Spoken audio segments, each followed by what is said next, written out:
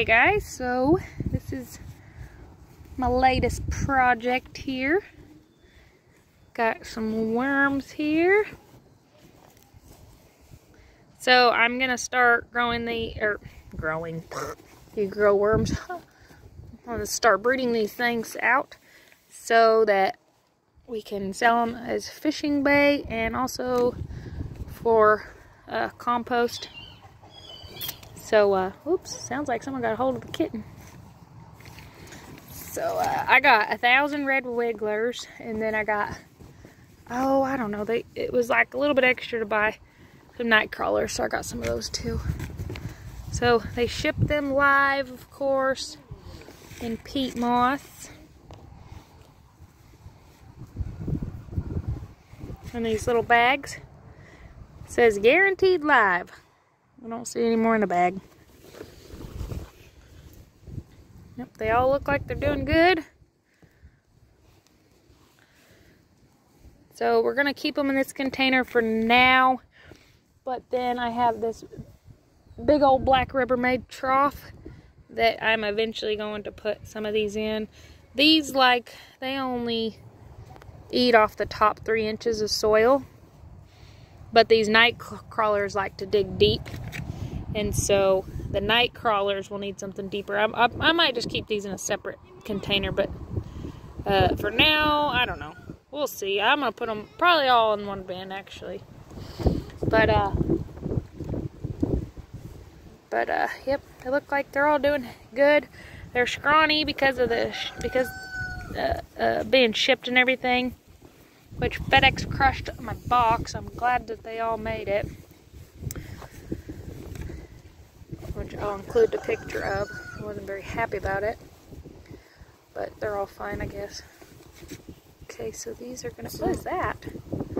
Oh, oh some kind of little metal tie. Right, so we're, oh, there they are. Of course, these, these are the night crawlers, and they like to huddle up in big giant wads. So this will be my fishing bait. Of course, you can use red wigglers too, but obviously they're much smaller. Um, but eventually, so every 90 days, these things are going to double. So I cannot remember. I think there's two, supposed to be, I don't look like 250 night crawlers, but maybe there's only 100. I don't know. There's a thousand of the red wigglers. So in approximately 90 days, we should have 2,000 red wigglers, and then these, however many, will double. And uh, we'll just keep at it. And uh, eventually, we'll hopefully have enough to start selling them for bait and for a compost. But uh, so they ship it in peat moss. I think I already said that. And they recommend putting them in a bin and then covering it with newspaper and topsoil. So and then uh, getting it wet. So I'm gonna, where's that bag? Can you hand me that bag behind you? So they like to eat newspaper and like and dried leaves and then of course some uh, hold on. Uh, they also like to eat uh, obviously leftover veggies and stuff. There are certain things you can't give them, but you can't give them meat. Yeah, they're they're probably excited to get out of that small old nasty bag, huh? Look at them, they're all excited. Yeah, they're all digging down. They're hyper now. So I'm gonna get this paper on here real quick.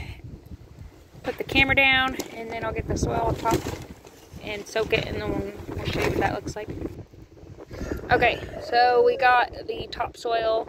They recommend topsoil or peat moss or I forgot what else to put on the top here.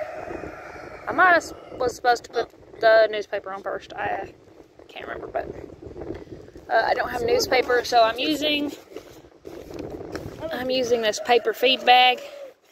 Oops, I was gonna put some more water on here. Get this nice and moist in here. Get them all fattened up. There's a few. There's, a one of the kittens. It's our little, is it the male or the female? Think it is. Let's go to Nobody? There we go. That's nice and moist, so we'll put this paper on top. And then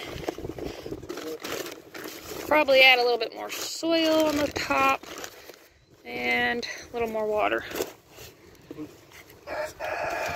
Get them fed.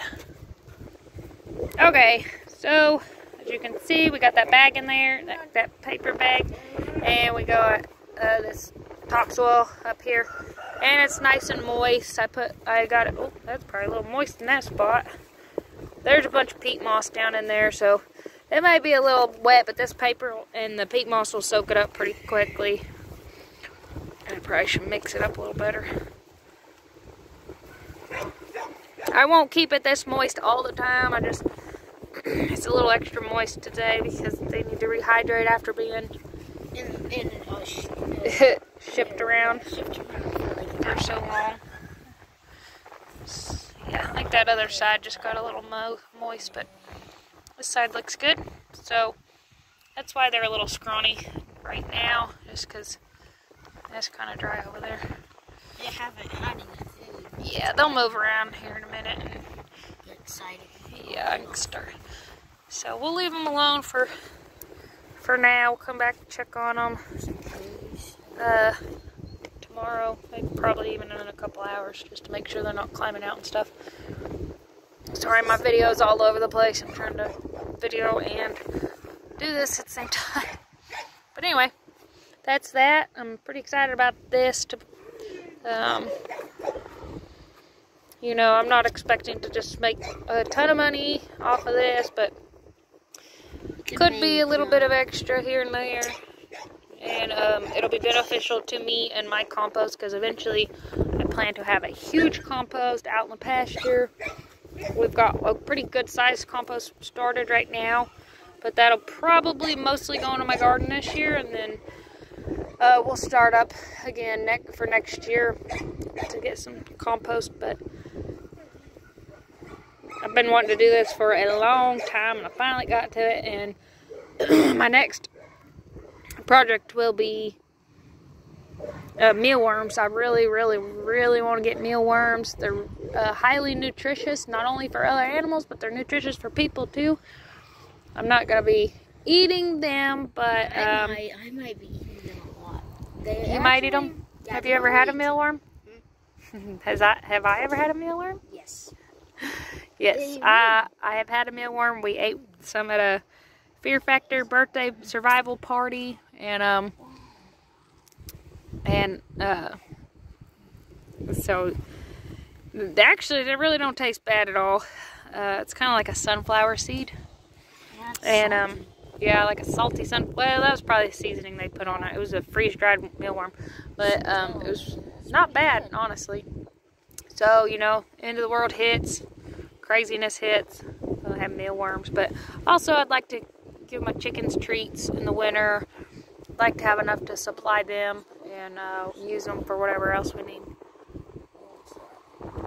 But uh, anyway, your hands are pretty dirty, so are mine. Otter is here joining us. Otter, Otter. what are you doing? Oh, she's silly. He's trying to clean But anyway, I've got to go take care of some animals. I've been gone all day. I got some material for another project I'm excited to share. And uh, we also went and dropped off our beehive today to go have bees put in it. And uh, they'll call me here in a couple weeks and we'll do a video on when we get those picked up and set. And we're going to clean out our other hives and uh, try to catch a swarm here pretty soon. Hopefully, we're gonna be praying that we catch at least one swarm. That would be awesome. Hey, don't don't smash it. Don't do that. But anyway, we'll catch you later. Just wanted to pop on here and show you all this, and uh, we'll see you next time. Thanks for watching. Don't forget to like the video if you enjoyed it, and subscribe if you haven't. Bye, y'all.